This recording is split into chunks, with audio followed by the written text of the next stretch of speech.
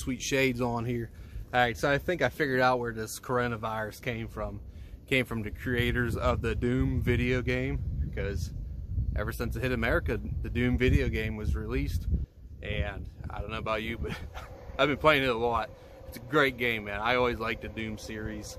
And this game, I mean, for $90, it should have been great, and it is. But anyhow, I was cooped up playing it all night, so all week really.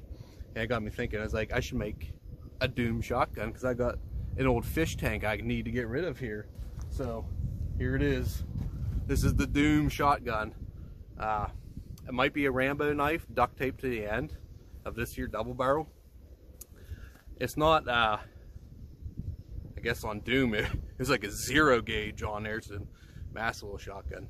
Just getting bored. Uh, that's what happens to get cooped up, I guess. Anyway, get my stuff set up here. Let's try this out. Yeah, I think it's official. I'm like the worst YouTuber ever because I didn't. My camera wasn't on, bud. yeah, that was the coolest thing ever. Yeah, no, camera wasn't on. Shot both barrels.